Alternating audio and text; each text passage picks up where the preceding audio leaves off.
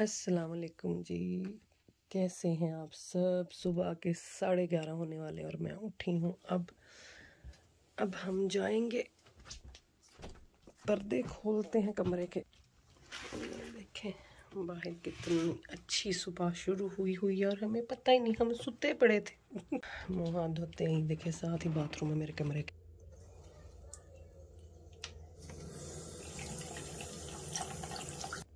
ये है मेरा टूथब्रश जो कि अब करेगा मेरे दांत साफ़ चलें जी मैं जा रही हूँ नीचे।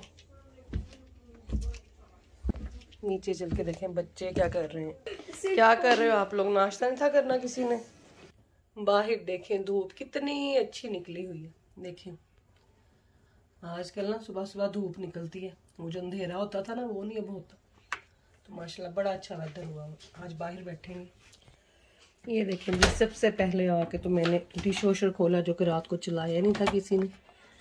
अब ये टैबलेट डालेंगे, इसको हम ऐसे बंद करेंगे और फिर इसको यहाँ से मेरा डिश वॉशर चलाना भूल गया।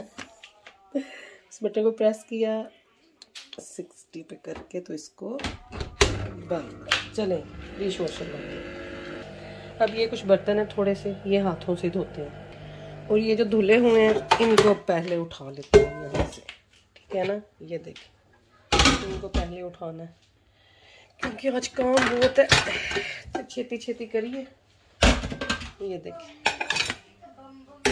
ये धोने वाले हैं, इनको मैं धोऊँगी चल जो पांडे सारे चल ये देखें जी, हम धो रहे थे यहाँ पे बर्तन और धूप गायब। ये देखें।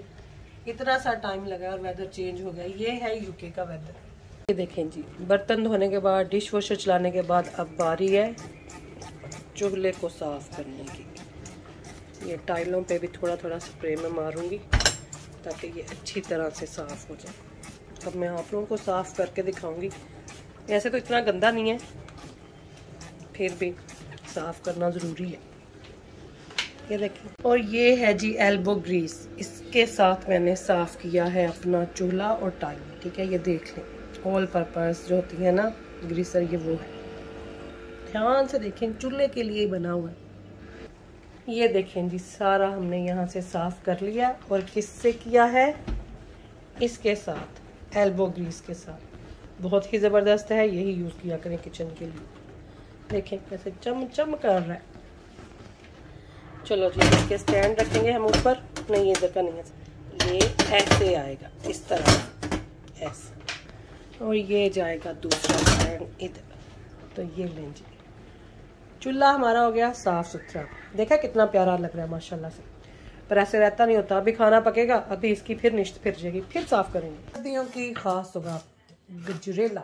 आज बनेगा गजरेला। गजरेला मीन गाजर का हलवा, खोई वाला। उसी को कहते हैं ना हाँ वही बनने लगे। गाजरों का हलवा। तो ये देखिए गाजरें जो हैं इनको पील करके यहाँ पे रखा जा रहा है, फिर हम वॉश करेंगे, फिर इनको कद्दूकश करेंगे, ठीक है? और ये देख, मेरी बेटी गाजरें पील ऑफ़ कर रही है। और यहाँ पे मैं काट रही हूँ आलू। आज बनेगा आलू गोश्त। ये है, गोश्त को हमने भिगोया हुआ है, ठीक है? और यहाँ पे हमने चिकन को भिगोया हुआ है।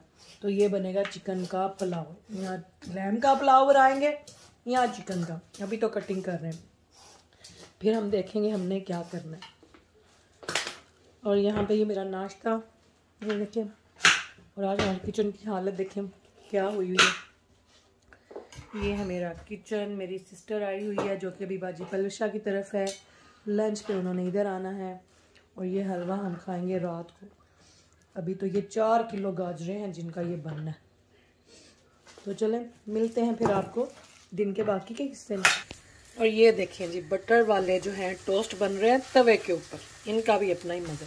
और ये हम खाएँगे जैम लगा के। और फिर आप देखें, सारा दिन कैसे काम होना है। स्पीटो स्पीड ये देखें जी, मैंने टमाटर कद्दूकश किए हैं, प्याज कट करके रखे हैं, पुलाव के या आलू चिकन के, अदरक, लहसन है, ये देखें आलू पड़े हुए हैं पानी में बेचारे। और यहाँ पे मुग्गा और बकरा हमने इनको जो है ना थोड़ा क्या कह रहे हैं जकूजी में डाले हुए और ये देखें, यहाँ पे गाजरें कद्दूकश हो रही हैं, ये बनेगा गाजर का हलवा, देसी घी। देखें जी, गाजरें गाजर, देखें जी, गाजरें हमने कद्दूकश कर ली हैं, और ये जो गाजरों का ये जूस निकला था ना, ये देखें, ये मेरी बेटी ने मुझे गिलास भर के डाल के दिया अब वो लगी हुई है यहाँ से सफ़ाई करने, सारा टाइडी अप करेंगी। ठीक है, ये देखें टेबल पे। और ये देखें, ये मैं पीने लगी हूँ, ठीक है? ये देखें जी, मैंने सारी यहाँ से सफ़ाई कर ली है कुकिंग अभी मेरी हो रही है, ये देखें, अभी कुकिंग जारी है। और ये देखें, यहाँ से सारा हमने टाइडी कर लिया है, वो वाला रूम भी। और ये मैंने जो गाजरों का हलवा बनाना है, उसकी गाजरें कद्दूकश करते हैं फ्लावर देखें, कितने ब्यूटीफुल है। ये देखें। और ये वाले भी, और इधर है मेरा मनी प्लांट ये देखिए। ब्यूटीफुल है। किचन में एनर्जी ही एनर्जी है। ये देखें पॉजिटिविटी होनी चाहिए ना ताकि आपको भूख लगे, ठीक है?